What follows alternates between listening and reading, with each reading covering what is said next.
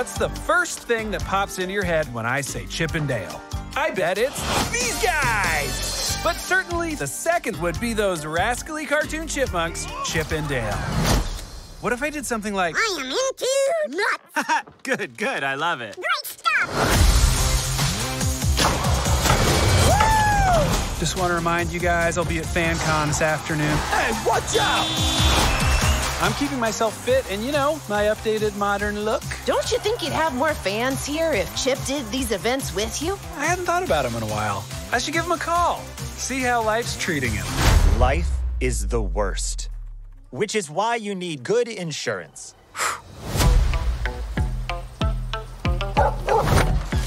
A message on my landline.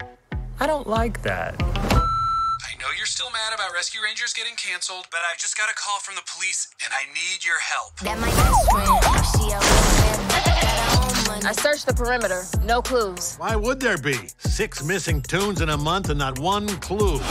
Oh no! She been down since the Chip! Dale, you look different. It's no secret I had the CGI surgery. What's been up with you? You know, this, that, other vague things to fill the space of this conversation. Cool. alone with the tea. We can see what we can find out and then pass it along to the officer. That that's all we're gonna do. So you're saying the Rescue Rangers are back? Yes! She a real You two come poking around where you don't belong, and I can't have that. Run! I got him! What are you looking at? Honestly, your weird dead eyes.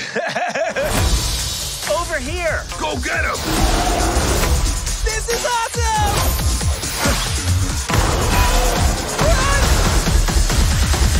I was always more of an Alvin and the Chipmunks person. You monster. My best friend. She a real bad got her own money. It was like professional.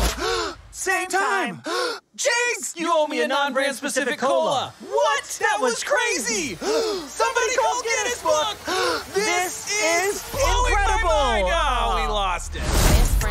friend.